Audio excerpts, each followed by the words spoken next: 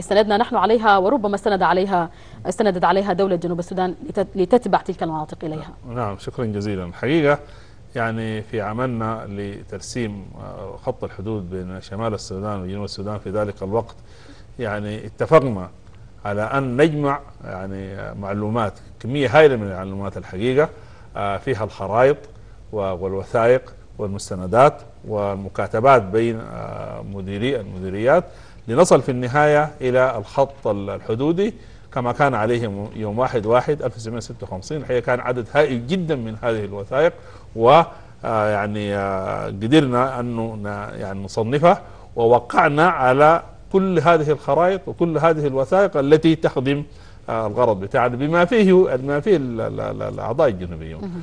فكل هذه الوثائق متفق عليها. وبعد ذاك جينا لتفسيره وتفسيره زي ما يعني أذيع في الصحف وفي وسائل الإعلام يعني أعطى يعني أو قال أن 20% من المناطق مختلف عليها و80% من الخط الحدودي متفق عليه. هذه ال 20% يعني اتفقنا أنه اختلفنا. وهذا شيء يعني لا لا عيب فيه يعني. لكن كون الآن وهذه المناطق هي أربعة فقط. أربعة وليس خمسة. نعم. أنا أقول وهي؟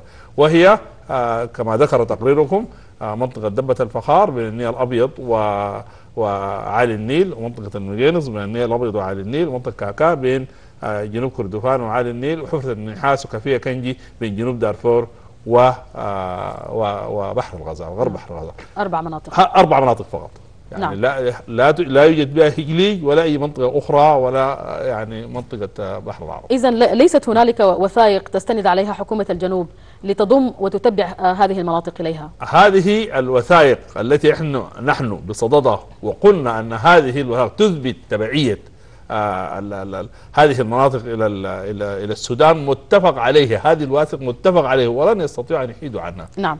آه بروفيسور يعني آه لماذا الحديث عن تبعية مناطق بعينها في هذا التوقيت يعني بدأ الحديث من جديد عن أبيي ودخلت مجددا في ذلك الصراع دخلت هجليج ودخلت غيرها كما ذكرت هنالك منطقة أخرى دخلت بماذا تردون على هذه الدعاوي؟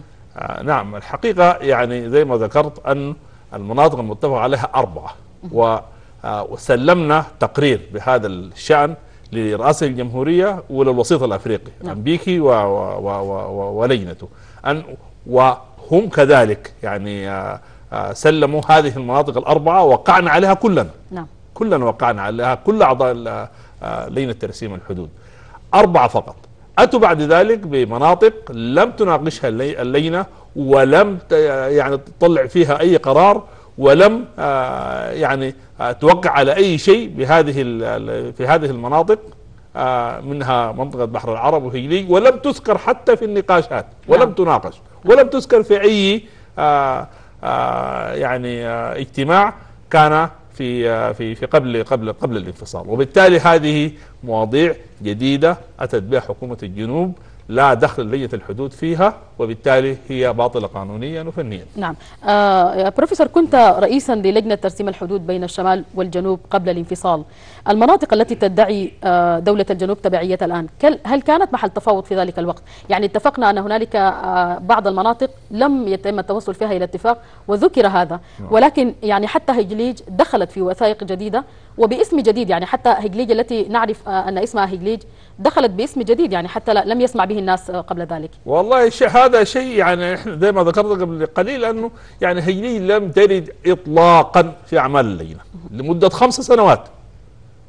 ظللنا نعمل خمس سنوات في ترسيم هذا الحد الخط الحدودي على الورق ولم تذكر هجليج بالمرة ولم تناقش بالمرة ولم توجد في أي محضر من محاضر الاجتماعات نعم. أخيرا برأيك يعني هل ما يمتلكه السودان من وثائق وخرائط ومستندات تثبت يعني تكفي عفوا تكفي إذا لجأنا للتحكيم لأي من الأطراف يعني في أي من من من الأماكن.